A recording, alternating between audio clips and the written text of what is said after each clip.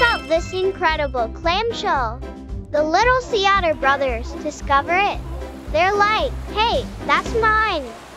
As they grow up, they keep on fighting. Even on rainy days. Even when they're old grandpas, they're still at it. Suddenly, a shark shows up. But no worries, the clam finds its way back home.